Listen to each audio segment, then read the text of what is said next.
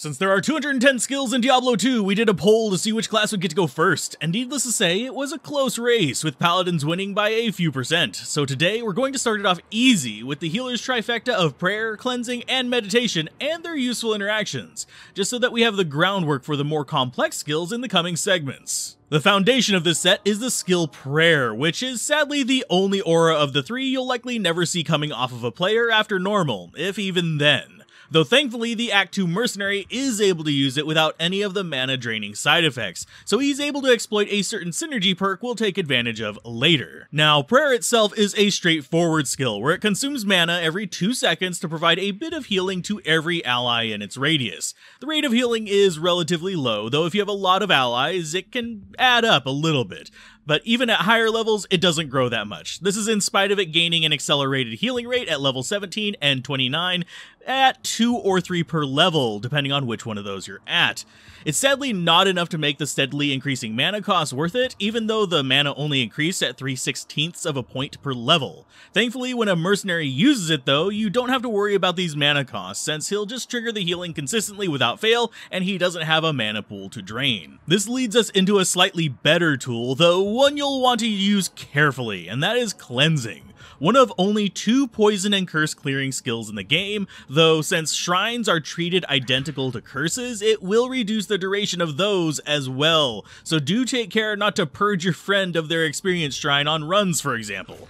And unlike Fade's effect, cleansing will trigger its effect every 2 seconds, meaning it will act on curses, poison, and even shrines, whether this was engaged before or after those effects hit. Now the really nice thing about cleansing, in addition to the debuff removals is that it carries along with it any prayer levels you have for healing, but without any of the mana cost. So if you had 10 life healed by prayer every 2 seconds, then upgraded to cleansing, you'd still get that 10 life every 2 seconds while using this skill, but without the mana cost. And since they're separate auras, you can run this while your mercenary runs prayer to essentially double dip on healing. The last of the three skills is the one most people are familiar with due to the prevalence of the rune word Insight, that provides its effect on polearms, and as of 2.4, bows. Like cleansing, meditation will pull the effects of the prayer aura onto it, which has led to a common practice of using Insight polearms on prayer mercenaries, for double the passive healing due to the auras not combating each other and the mercenary's skill being counted towards the synergy. Though admittedly, even then it's relatively slow,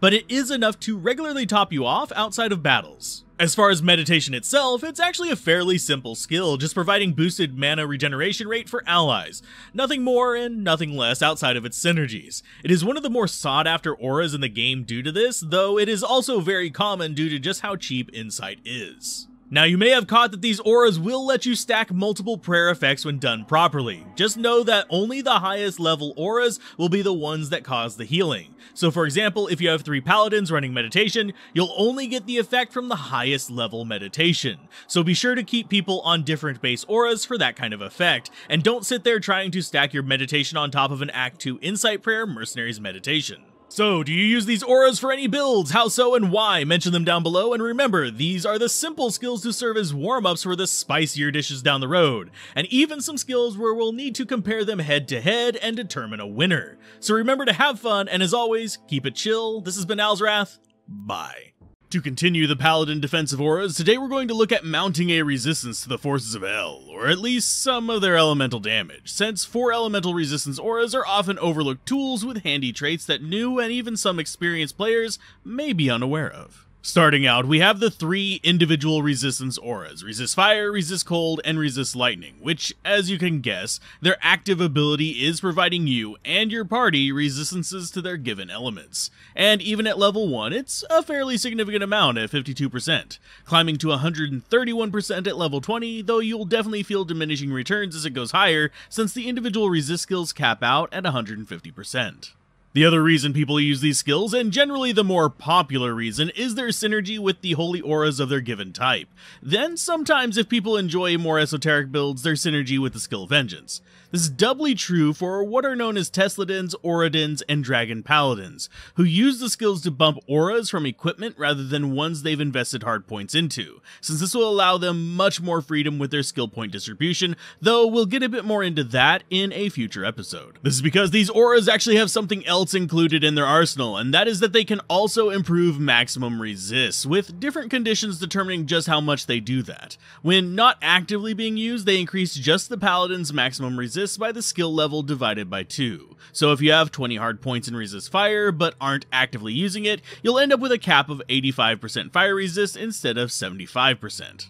Now, if the aura is active, the paladin can actually share this boost to maximum resist, but at an even higher rate of 1% per hard point, so that 20 hard points in fire resist, while active, will actually make it so that you and your entire party can get up to 95% in your fire resist, greatly reducing the damage of fire attacks. Now, it's important that we remember that this is based on hard points, so plus skills will not boost the amount of maximum resist that they're limited to.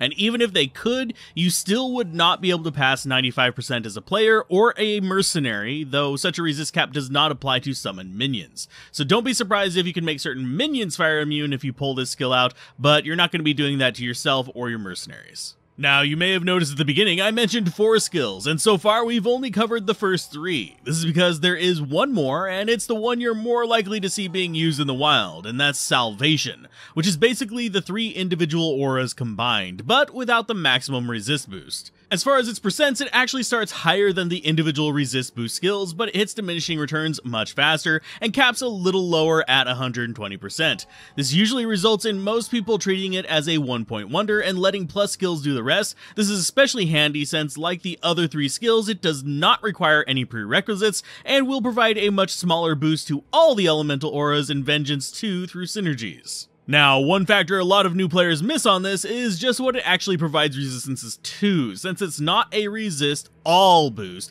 because it only provides a boost to fire, lightning, and cold damage. So you need to use your gear to handle that unfortunate poison damage that is going to creep in on you. Overall, I only rarely use these skills directly, though with the addition of equipment like the rune word Flickering Flame, I do hope we'll maybe, just maybe, see a few more of the resistance auras crop up on equipment to fit these themes in the coming patches though it is never a bad idea to consider how you'd use the passive bonuses on the individual resistance auras in a build, or even just getting one safety point in salvation should you find yourself against some particularly nasty elemental enemies. So do you prioritize resist, or would you rather focus on raw damage? Mention why down below, and stay tuned to the skill guide playlist if you want to learn more about the entire 210 skill library of Diablo 2. And as always, a special thanks to the channel members, patrons, and viewers like you for making videos like this possible.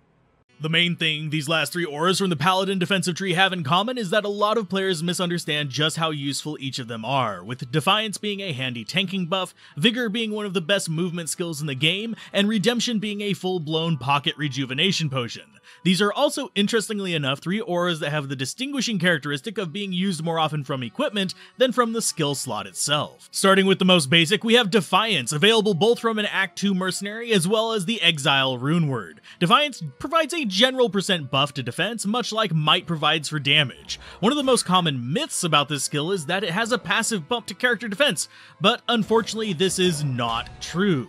The reality is it has a synergy linking it back to Holy Shield, which boosts the defense gain of Holy Shield itself. And since Holy Shield is considered a must-have for paladins, you can see how this myth was born. Now, in terms of how useful Defiance is, this really depends on how much defense you have from gear, and where you have your percent defense boost contributing to it. If you have low defense, or most of your defense comes from those off-armor percent sources, such as something like a Fortitude weapon, then you'll see a far smaller gain from this since it's stacked with off-armor percents, and if there isn't a large base to work with, then it won't give a large bonus. There is also a big glaring factor of whether you're running or walking, since running will actually make Defiance entirely useless. On the subject of running though, we have another aura, Vigor, a handy aura that boosts the movement speed of all characters affected by it, and most often found coming off of either a paladin trying to zip through an area quickly if they don't have charge, or off of someone using a rogue mercenary with a harmony bow. Now, run walk can get complicated and have a whole guide of its own, but to keep it simple, run walk from equipment has diminishing returns, while run walk from skills do not so you'll notice a bigger increase from 30% Vigor than you will from 30% Though with a hard cap of 50%, Vigor will only contribute so much, and with the skill itself giving less for each level, it's usually best to treat it as a one-point wonder,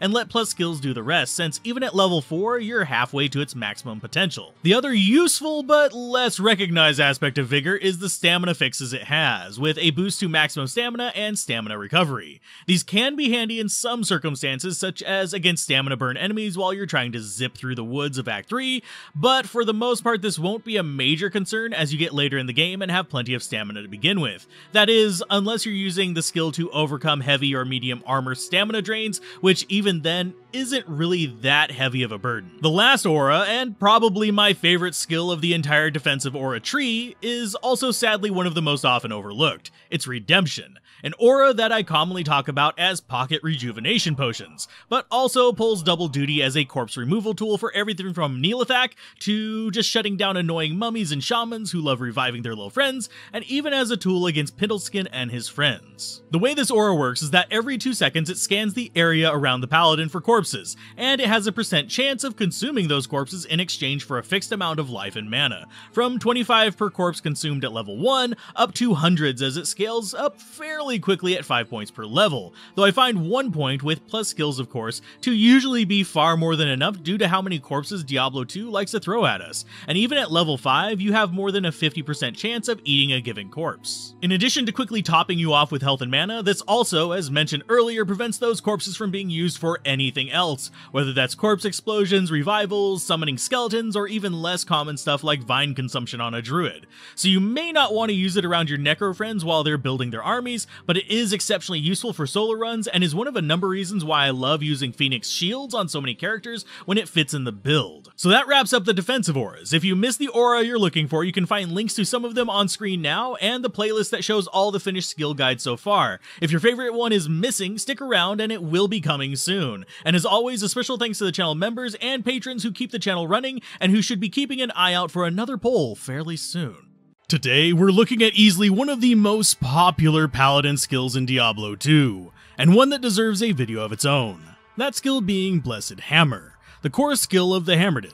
Now, why this deserves a video of its own is because of two reasons. One being the actual depth of how damage works with the skill, its synergies and concentration, and two for dissecting the pros and cons of the skill compared to its major competitor as of 2.4, Fist of the Heavens. Now, starting with that second one, you have to realize that neither is 100% superior to the other. For example, Fist of the Heavens is absolute garbage at the cow level, while the Hammerdin will do just fine while on the flip side, Fist of the Heavens will easily outperform the Hammerdin in most undead or demon dense areas, despite hammers doing more damage. And they both will struggle in areas such as Maggot Lair, where tight corridors and beast enemies will keep both relatively neutralized. So simply put, it's best to choose which one you want to use based on where you would like to farm, as well as what you want your hybrid solution to be for dealing with those side situations.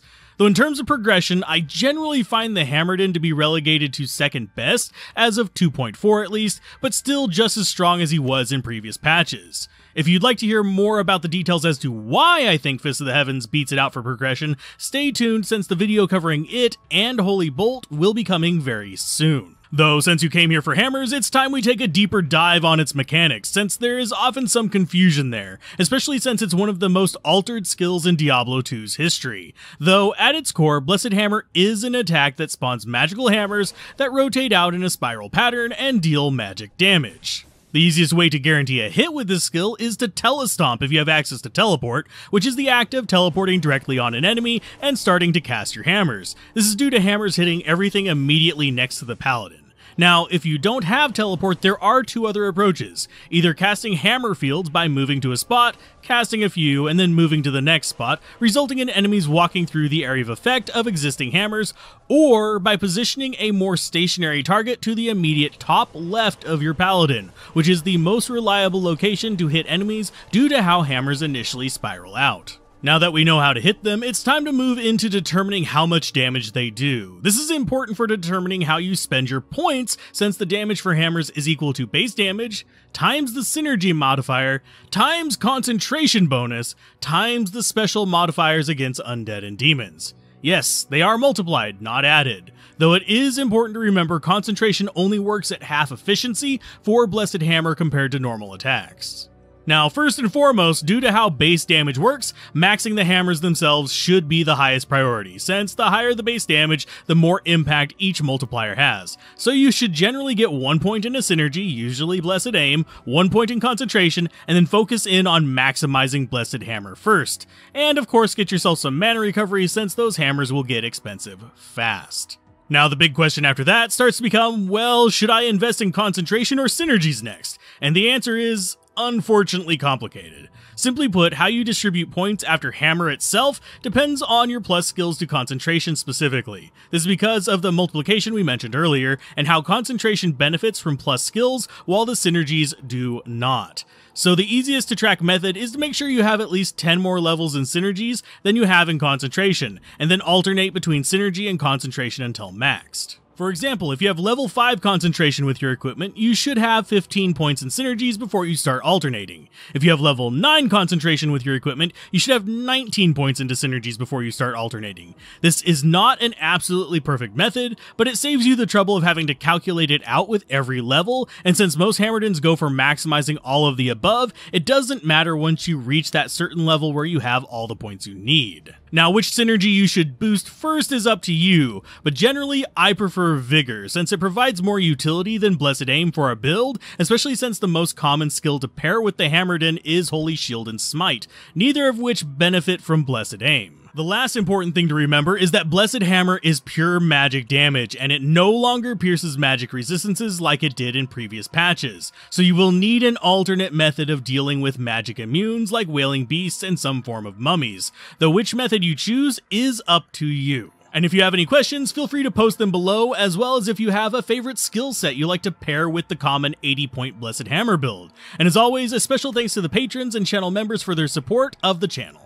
Next in the Diablo 2 skill guide portion of the game manual series, we have probably the most influential ability in the Paladin's arsenal, combined with one of the most used, but least talked about utility skills in the game, that funnily enough lends a decent amount of punch to the former. The skills in question are Smite and Holy Shield, the 1-2 combo that are core picks for Uber Slayers and an amazing sidearm for general progression, especially against bosses. Starting with the simpler of the two, we have Holy Shield, a skill you see every paladin use outside of the rarity that is two-handed paladins. The skill is a great defensive skill, and even the source of a myth thanks to its common use and its synergy with Defiance.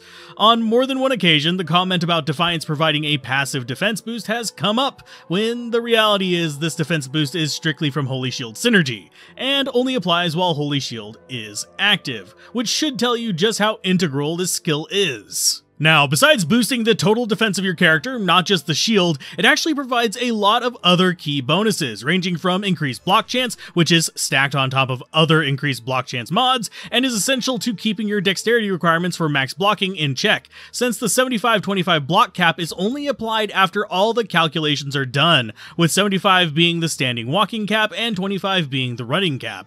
This is stacked on top of it, also providing drastically improved block speed, dropping you to a 2-frame block with no other modifiers involved, which is faster than most characters can get even with hundreds of percents of faster block rate. The last boost, and the reason this is paired with Smite, is that it increases the base damage of shields for use with, well, Smite. It's not a massive amount, but it can still easily double the base damage of even Elite Shield before the percent boost from elsewhere take effect, and can even be used to make an exceptional shield closer to competitive with even Elites. Now, to prevent any confusion about pre-buffing, Holy Shield functions at the level you originally cast it at, much like Enchant does for a Sorceress, regardless of what your character screen says. The only way to change the level of your Holy Shield cast is to cast a higher level version of it to override it, though since the only way to get plus skills specifically for Holy Shield on Scepters is through a bug that people have claimed no longer exists in Resurrected and I have yet to encounter it again myself, you'd be hard pressed to get much better Holy Shields than your standard skill or gear setup for casters. Now, with Holy Shield done, the real star of this episode is going to be the skill everyone loves to talk about, Smite, or more commonly the skill everyone from budget Uber Slayers to fully tweaked Uber Farmers use. Now, this skill is a bit of an oddball with a lot of exceptions, loopholes, and odd behavior, but hopefully I can keep it from being too weird to understand. So let's start with the easy stuff first. The range and speed of your smiting is actually based on your choice of weapon, so a phase blade will be relatively short range but fast, while a berserker axe will be slightly longer range but a little slower. And your choice of weapons should also consider the durability of the weapon since smite will use that up, though it will never break the weapon until you perform a non-smite attack, and since smite always hits, cannot be blocked, and usually wants to swing fast, you definitely want something packing at least a reasonable amount of durability. Now smite actually does have a few drawbacks whenever it comes to normal use. Probably the first one you'll notice is that it has knockback, which is one big reason it's generally used on bosses rather than your average enemy since bosses can't be knocked back, so no having to play the chase game as you knock something across the field. Though that knockback can be useful in interrupting more annoying enemy attack patterns, so it's not entirely useless, and the stun effects Smite provides makes this interruption last quite a bit longer, which can be nice as well. The other big drawback is that Smite has a very limited set of modifiers it can take advantage of, the big one being the fact that it cannot leech, so you need to use skills such as Life Tap to restore life while using it, and you generally want to have some sort of mana regeneration effect to keep your mana topped off. Now, in terms of what modifiers Smite can bring with it, probably the most important one is Damage Plus, which you can only find on Grief, Stone Crusher, Astreon's Iron Ward, and the Redeemer. This damage is added to the base damage of the shield before the Smite, Stat, or Aura percent boost to your damage do, so you'll notice a Grief Paladin dealing many times the base damage per hit compared to non-Grief Paladins. Now, don't confuse this with plus minimum or maximum damage effects, as those are not added, they are completely different modifiers. The other super important effects you'll be carrying on Smite are Crushing Blow and Open Wound, as these are essential to being a strong smiting paladin, as they will serve to chunk enemy life down much quicker than your base damage, as well as prevent enemies from healing thanks to the tick damage on bleed. In terms of the percent boost, the only percent boosts you'll be getting on Smite are going to be 1 your strength modifier, 2 your aura modifiers, 3 your off weapon enhanced damage percent effects, and 4 your Smite modifier itself. And you will not will not get enhanced damage to demons or undead, so laying of hands doesn't do that much, and you won't get the enhanced damage on your weapon proper, just like you'll not get any of form of elemental, magic, or poison damage for Smite.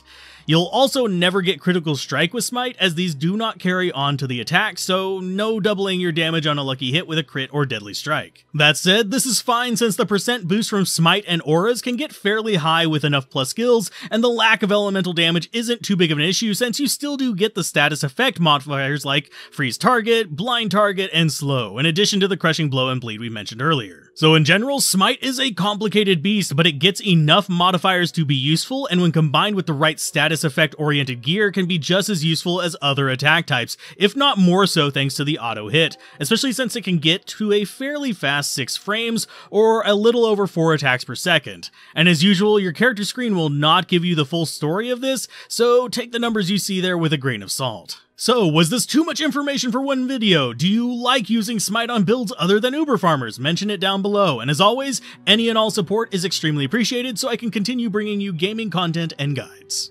Today, we're going to hit up two of the most misunderstood paladin skills in Diablo 2, the level manipulating enemy controlling skill known as Conversion, which I will probably accidentally call Conviction at least once, and the mechanically mangled elemental brick on a stick that is Vengeance.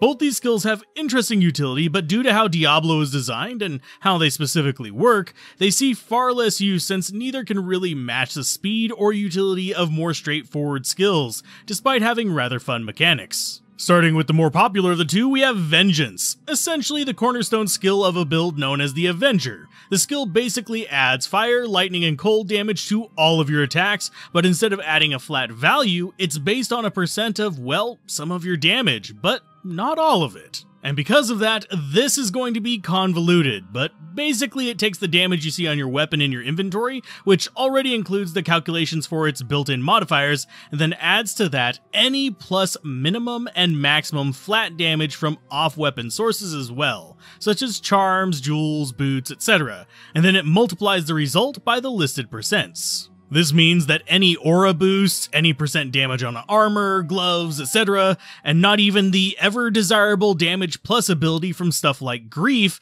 will end up impacting the damage of Vengeance itself. This results in Vengeance having some weird weapon loadouts and a bit more planning around your gear proper if you want to really boost that elemental damage. Now, even with the limited pool of ways to boost the number it's based off of, there are plenty of ways to boost the skill damage itself, with skill levels adding generally the most damage, at 6% per level per element for a total of 18% if you're just boosting Vengeance itself, individual resist auras adding 10% per level for just the single element they represent, and Salvation aura adding the least amount per level with 2% per element, for a total of about 6%.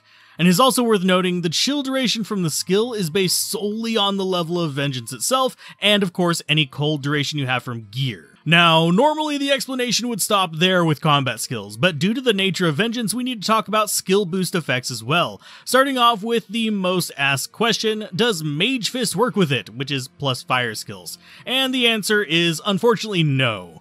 For some unknown reason, Vengeance is not considered a fire skill. That said, percent sources such as Rainbow Facets and, for the sake of Vengeance, Sorceresses, Fire and Lightning Masteries do impact the damage of the skill, and ultimately in a nice way. This is because these percent damage sources are applied after the calculation for the damage is already done. So if you, for example, have a 200 damage weapon with a flat 200% Vengeance because it's low level or something for everything, and let's say 20% from Lightning Rainbow Facets, you would deal a total of 1280 elemental damage on top of your normal attack damage. This is because you would be doing 400 fire, 400 cold, and then 480 lightning damage thanks to the rainbow facets. Obviously, these numbers can get much higher since you not only have the plus skills and synergies boosting them, meaning it's not uncommon for an Avenger to hit around 500 to 600% in a couple elements, with around 300% in the third before the elemental booster from items.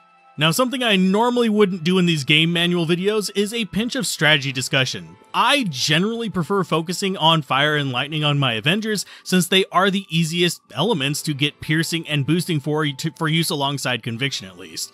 They are the best resist to push over max as well, thanks to the passive effects we talked about whenever we, we did the resist aura video. And lastly, your chill duration is only affected by the level of vengeance, nothing else. Not to mention that cold is also the hardest resist to break in the game. Now, as far as our other misunderstood skill, we have conversion. This one is misunderstood because frankly it's almost never used, outside of some very specific cases, and you really need to know how it works to keep yourself from getting killed by your own auras. Now, the skill's base function is to turn your enemy to your side when you basically just swing at them, since the skill does not actually need to hit to trigger, though this conversion only lasts for 16 seconds. And with 2.4, the chance of this happening, the conversion that is, had its cap increased from the old 50% all the way up to the new 90%, meaning you can actually kind of build around almost reliably converting whatever you hit. Now, as expected, for the most part, you can only convert normal or minion monsters, and though a few of the base monster types types are naturally immune to it, they're not super common. And probably the last fairly well known aspect of this skill, and usually the reason a lot of people don't use it, is that when converted, the monsters gain your active support auras, which can result in them using those auras against you for a couple seconds at least after the conversion expires. Sometimes meaning extra fun, high level fanaticism mobs punching you in the face. Now, the less known aspects of this skill are how it impacts your experience gain, as well as how it can dynamically change a monster's stats. As far as the experience gains go, basically you'll get experience for anything the converted monsters kill, but you will not get experience if the converted monster is killed by enemies. So it can slow down your leveling a tiny amount, but in the long run it won't really matter too much. Though whenever it comes to the stats of the monsters, it's kind of an odd thing since it will look at your level and compare it to the level of the monster naturally, and it will set the monster's level and their stats to match the lower of the two while they're under your control at least. So if you're a low level character converting high level monsters, you may be trying to fight that level 85 Frenzytaur pack with a level 72 converted Frenzytaur itself. I still have yet to understand why they added this extra layer, except maybe there's some weird fringe PvP concern or wanting to keep conversion from being the go-to for low-level challenges, but it's there and is one reason why your converted beasties may be fighting an uphill battle. Now, there's also some oddities that vary sadly depending on what version of Diablo 2 you play, though pretty much if you're lower level than the converted enemy, you can expect them to lose life when converted from friend back to enemy, though how this behaves is pretty significantly different between Resurrected and Lord of Destruction, so yeah, it does help out, but it helps out more in the older version. So, do you have any builds you enjoy with either of these skills, or do you stick with the standard fare for the Paladin? Mention it down below, and a special thanks to those who actively support the channel, and if you want to see more detailed dives into skills, check out the playlist on the screen right now. As we push through the Paladin combat skills, we of course need to look at the current popular kit in patch 2.4, Fist of the Heavens, and of course, the more important little brother, Holy Holy Bolt, that sadly a lot of people ignore despite the fact that it is the true workhorse of builds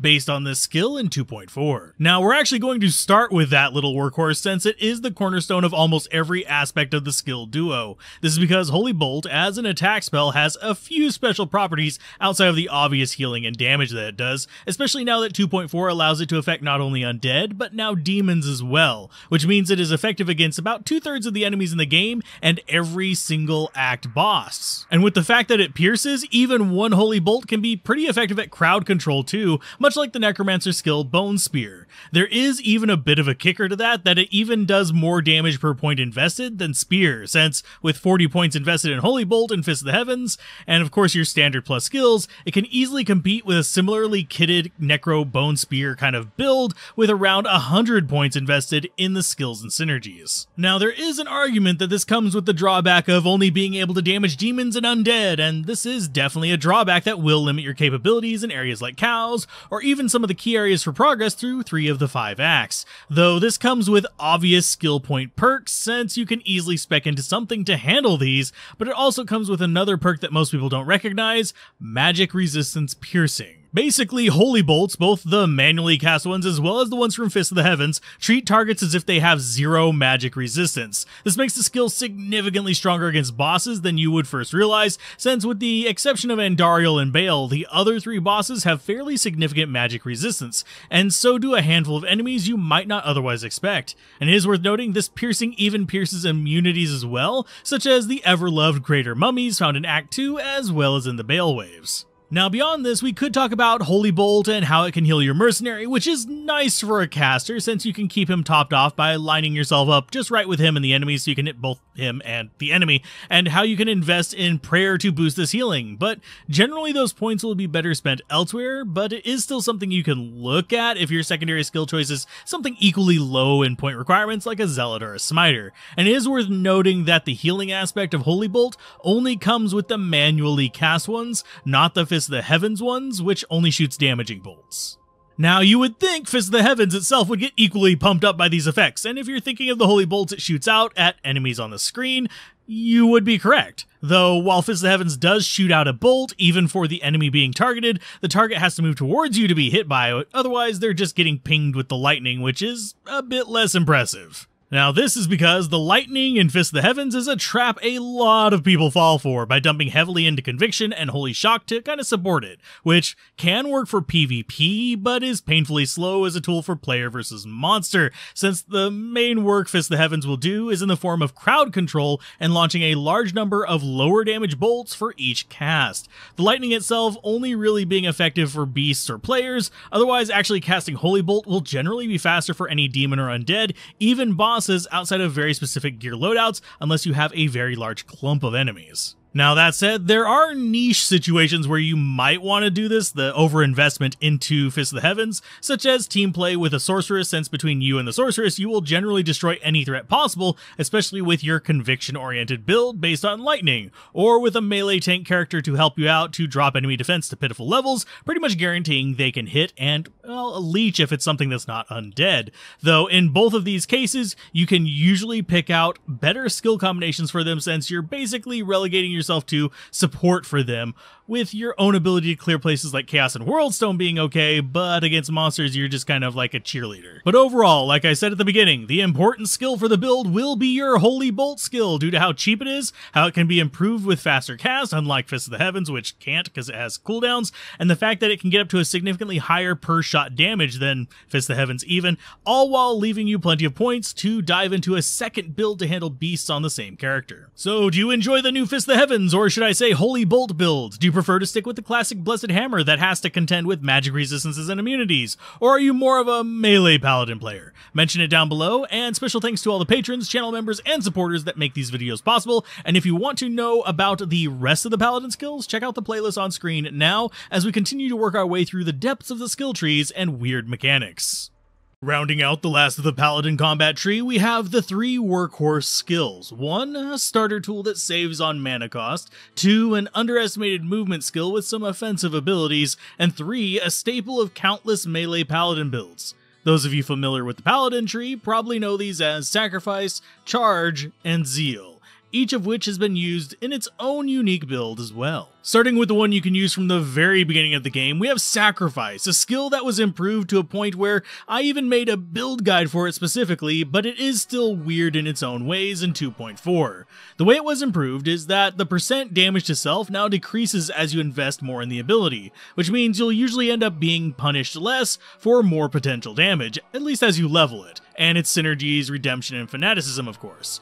Though you do want to take into account the mechanics of the skill before you dive into it full bore. First up, and probably the most important, is how the damage return is handled. Simply put, the amount of damage you take is strictly based on the damage you do. For example, whacking a physical immune with Sacrifice will end up in you taking 0 damage since you dealt 0 damage. Whereas if you do 5000 damage to a target and have a high level 1% Sacrifice, you'll take 50 damage, which isn't that bad. Now, it is also important to note that Sacrifice does not utilize any form of critical or deadly strike, and will not utilize damage boosters such as damage to demons or undead, so you're actually less likely to surprise yourself by doing an extraordinary amount of damage because of it. Now, the other aspect of this is the actual damage coming from it, which unfortunately cannot be mitigated since it bypasses damage reduction effects for better or worse. So, for example, your vampire's gaze will not reduce the damage you take, but if you're amp damaged, you still won't take any extra damage from it either. Though, of course, hitting an amp damage target will increase the damage you do and thus the damage you take, but that's a whole different matter. The last aspect is in regards to sacrifice and life leech. Like many recovery effects, it follows the loss first, heal second principle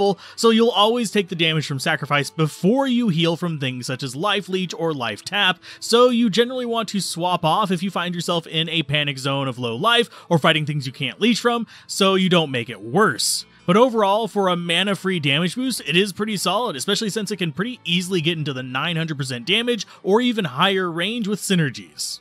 Now, moving down the list, we have Charge, probably one of the most underutilized but still exceptionally good movement skills in the game, mostly thanks to the popularity of Caster Paladins and Enigma, though. That said, until you get expensive items, this can still be a great overall skill and can even free up the armor slot for resist or damage reduction later on. Now, the reason Charge is so good is that it greatly increases your movement speed value, though it is worth noting that it's based on the base speed values that are only affected by skills, not by gear. So the faster run walk boots won't speed it up, but vigor will. Though this also means you can be heavily slowed down by skills like Decrepify and Holy Freeze, though thankfully in Resurrected, a lot of the buggy behavior with it has been counteracted, so you don't have to live in constant fear of the dreaded reverse charge. That said, you do need to remember while charging, your block is treated like running block, so it is capped at 25%, and you'll likely get punched while darting through packs of enemies. Now, in terms of how it functions in proper use, you can intentionally target thin air, strictly to use it as a movement skill like leap attack, but without the ability to evade terrain obstacles. If you, however, want to use it as an actual attack, the skill does decent damage, especially with its synergies of might and vigor. It also does a knockback effect, which in this case works to its advantage since it can often allow sequential charges, though it is worth noting that charge is not affected by attack speed, so for chargers, you generally want bigger, slower weapons to maximize damage output. Now, if you cannot knock an enemy back, such as an Act Boss, Charge will not trigger if you are in melee range with an opponent, so you'll just be burning mana while doing extra basic normal attacks, without any of the charge attack rating or damage perks. Now, one thing to remember, and it's far more common in Legacy, is that if you get snagged by the movement bug with charge, a weapon swap can be used to sometimes fix it. Though it is uncommon, it can be annoying to get stuck in place.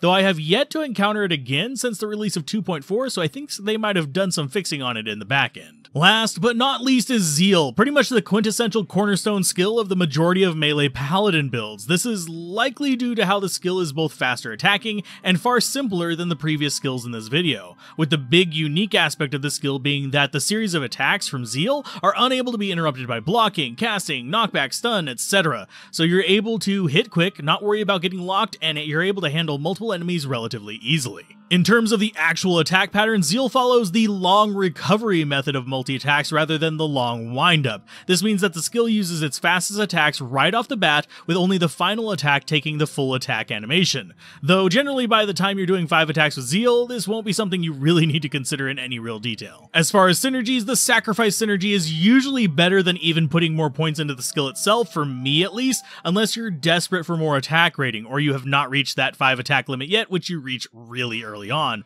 though generally most builds that use it don't even worry too much about the synergy since they're often using other skills to supplement the attacks with elemental damage or chance to cast effects, though you can lean into physical with weapons like Grief sometimes. And with that, we've rounded up the Paladin combat skills. Next up, the offensive auras, which contain easily some of the strongest and most desirable skills in the game, so stay tuned for that. So do you have a favorite paladin skill? Mention it down below and I might use it for the cornerstone of a build video in the new format we have coming up. And as always, a special thanks to the patrons, channel members, and subscribers that help with the cost of running the channel, and if you want to help out, you can find links to them in the description down below. The offensive aura tree can be divided pretty much into three categories, offensive boosters, area damage, and oddball utility. Today we're going to be covering that third category, which is comprised of two often misunderstood auras. Despite being some of the most talked about skills in the entire game, Conviction and Thorns are both skills that many players often forget or just don't know the full functionality of, which results in them leaving a lot of potential power on the cutting room floor. Starting with the less popular of the two, Thorns, we have the most well-known but sadly rarely used damage retaliation skill, which with 2.4 received an interesting buff in the form of now dealing flat damage in addition to percent damage. Now, the way Thorns works is that it only functions against enemies attacking within melee range, so it is a bit useless against ranged opponents, which are usually the bigger threat in Diablo 2, so you can see why it's a bit less popular. That said, it has utilities that are often ignored, especially if there are any allied summons in play against act bosses. This is because the percent damage retaliation is based off the amount of physical melee damage an enemy deals to an allied character, which, while for players this is nothing special, it's important to remember that act bosses deal double damage to mercenaries and quadruple damage to summons. So by taking advantage of this as well as something like amplified damage, a pack of necro or druid summons or even stuff like Valkyries or Shadows can soak melee hits from each of the bosses and actually reflect significant damage, especially considering they will often have larger life pools or at least larger numbers to compensate at higher levels. Now, as far as the flat damage from Thorns, this is more just a nice to have these days, since the way it functions is based around just the enemies swinging in melee, so whether they hit or not, this gives Thorns the ability to at least return some damage. Though it is worth noting, it's not quite enough like damage in general to make a big difference in late Nightmare or Hell, so if you're using it then you're usually using it as part of a summoner party or specifically against bosses and using a separate aura for other situations, which surprising to some will ideally be something like today's second aura, Conviction. Though before we hit that, the last little bit of housekeeping for Thorns is that it only deals physical damage and it is affected by physical resists, for better or worse. So it is garbage against physical immunes, but great against amplified targets. The other thing to remember is Thorns has reduced efficiency against players and mercenaries to the order of dealing 1 8th damage, so don't expect this to be some amazing PvP trick just to use against like spin to win barbarians. Now, as far as conviction goes, most people know about its resist functions because it's used so bloody often by lightning sorcs, Javazons, and Trapsins through the Infinity Runeword, though a lot of new or intermediate players will have at least one misunderstanding about this skill, either in understanding how it works for resists, or defense, or in terms of contested aura checks. Starting with its most popular use, minus resistances, it is one of only two ways to break elemental immunities in the game. The other one is the curse lower resist. Just like with salvation and boosting resist though, conviction only affects lightning, fire, and cold resists, and against immunities it works at one-fifth the normal efficiency. So even with its maximum level, it can only reduce immune creature resists by 30% by itself, since it tops out at 150 and this effect is applied at the same time as lower resists effect in regards to damage checks, so even if one skill would break the immunity, they are both penalized this way. This means that you often want to combine it with facet style effects, since they are applied after the break, meaning if you break an immunity with conviction, a rainbow facet will work at its full listed value, while lower resist will still only work at one fifth. Whereas if you don't break the immunity, the rainbow facet will have absolutely zero effect. Now, why it's used so often for lightning is because lightning is the easiest element to break the immunity of, since most lightning immune monsters rarely pass 100% resists, while fire immunes often sit in the 110 to 130 range, and cold immunes are often 140% or even higher, with only a few exceptions in each case. So you can see why people like Infinity for lightning builds, while the low level of conviction on Infinity keeps it from being useful for the other two. Now, one area where people ignore conviction is in regards to defense, especially in the situation we mentioned earlier with summons, because let's be honest, summons very often have awful attack ratings, so conviction reducing enemies' defense by upwards of 80%, even at those low levels, will make a significant impact on their chance to hit, greatly improving their overall damage over time by reducing the complete misses. This can also be really useful if you or your allies are having trouble hitting in a team where you just happen to be under-geared or under-leveled, since more hits means more leeching, means more triggers, and more damage for you as well. The last aspect of Conviction is contested auras, something you pretty much only see talked about in regards to Uber Mephisto, but it also applies to random aura enchanted enemies in the wild that just happen to roll Conviction.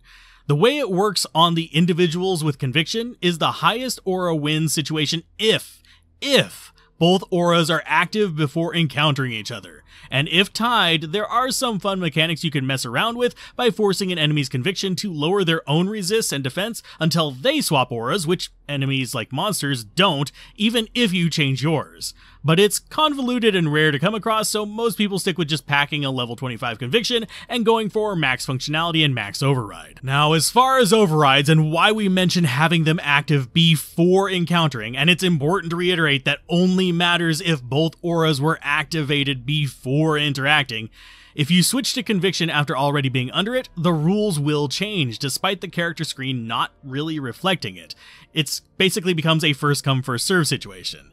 If you want to override a conviction, even with a higher level one, you need to disengage, lose the enemy conviction, switch to yours, and then re-engage the enemy. It doesn't display right on your screen, but you will feel the difference as the older one will actually generally wipe out the newer one. So only ones applied at the same time will behave as you expect. Hopefully that was a clear enough explanation on conviction as it's a fairly convoluted situation whenever it comes to the contested auras, so if you have any questions, don't hesitate to ask them below. The only stupid question is the one you never ask. Well, that and a question several months back asking about how to find the Cold Plains waypoint, but we don't talk about that. And as always, a special thanks to the channel patrons, members, and Twitch subscribers for their continued support of the channel's ever-expanding content.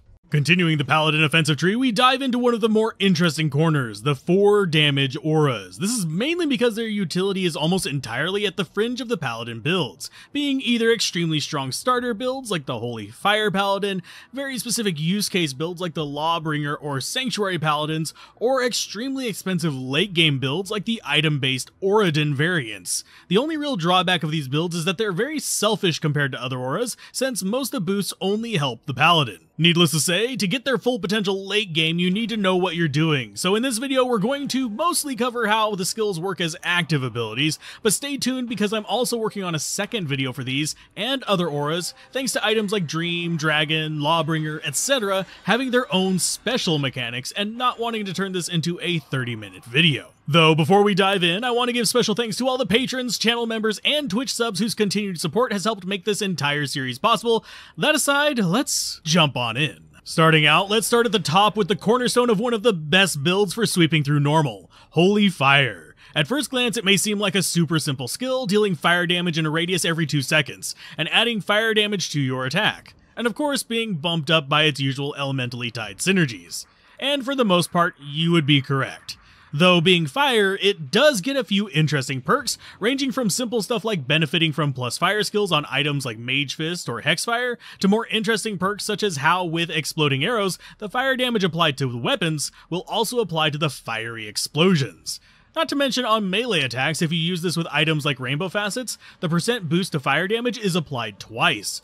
Once to the base boost, and then again to the actual attack, though sadly this is a melee only effect. Moving down, we have what is generally considered the more party-friendly damage aura, that is, unless you're playing with a necromancer friend, and that is Holy Freeze, which, as you can tell by the name, does cold damage in a radius and adds cold to your attack, but it also has the effect of chilling your enemies, and I phrase it that way very intentionally. Basically, this is because the aura does not apply a cold effect, but rather specifically a slow effect tied to a hidden stat called Chill Effectiveness. This means that items that provide cannot be frozen, as well as even being just cold immune in general, will do nothing against it, but rather it is only able to be negated by enemies with zero chill effectiveness, which is only available on certain monsters. Oh, and of course, it won't apply to act bosses because that would just be broken. Also, much like Holy Fire, plus percent skill damage stacks twice on melee attacks, and similarly, the cold damage from Holy Freeze will travel with freezing arrow explosions, much like the Holy Fire did with exploding arrows. The last of the elemental damage auras is Holy Shock, which, as you can guess, applies much like Holy Fire and Holy Freeze.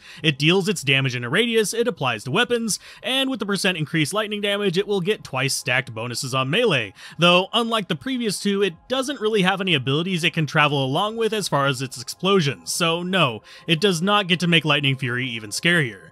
Though it is kind of funny that the highest level one of the elemental auras is by far the simplest in terms of effects, with its only unique feature being the usual high max damage, bare bones minimum damage of lightning, just kind of like throughout the game. Now you may be saying, that's just three auras. This guy right here said four damage auras. And you'd be right, there's one more. This one dealing magic damage with a bunch of its own rules. The most well known being the part that says it only affects undead.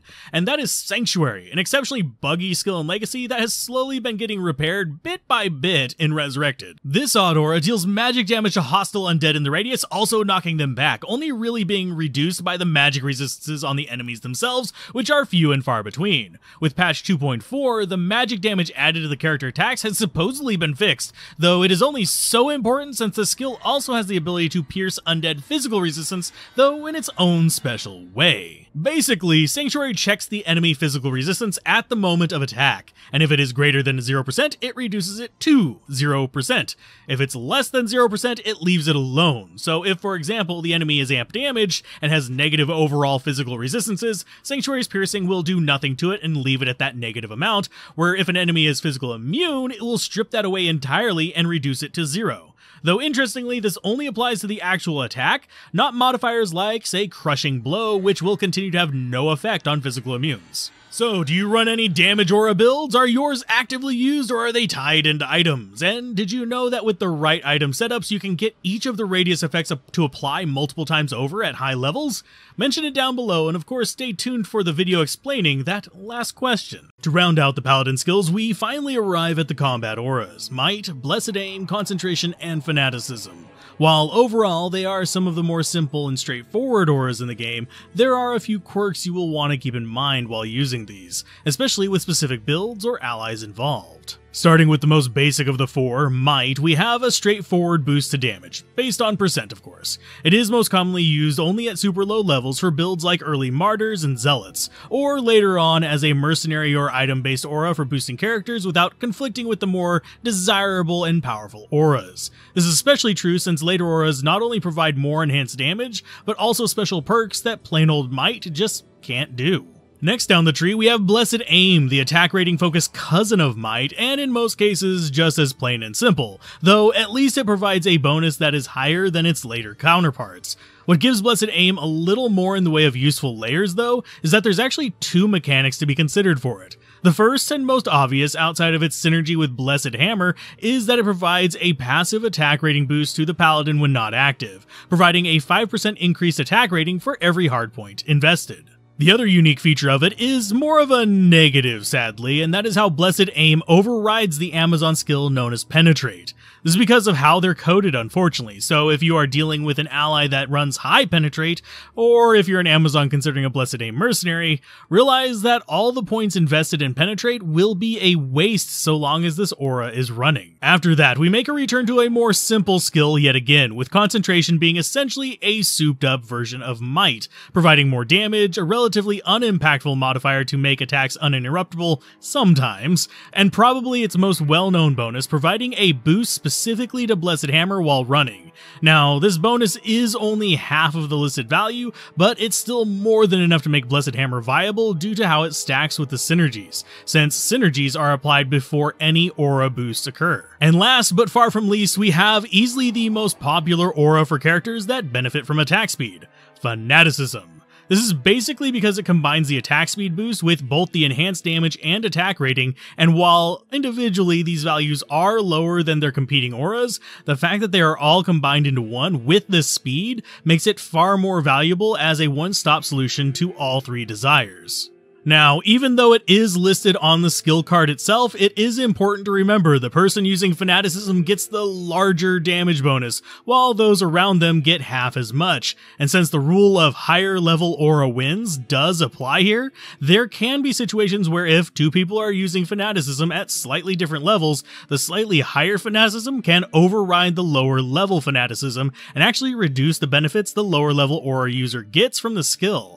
That's why you'll often see paladins swap into concentration or conviction when paired with another paladin of similar level with more plus skills, so at least the aura slot is not wasted. And with that, we round out the entire Paladin skill library, and you can look forward to a compilation for it in the near future for those looking to binge watch. And as always, a special thanks to the channel patrons, whose support is key to the continued survival of the channel.